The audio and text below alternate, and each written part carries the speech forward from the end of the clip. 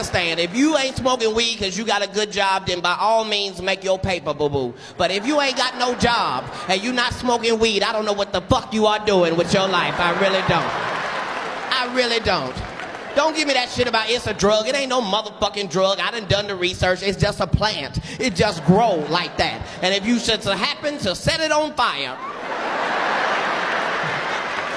there are some effects.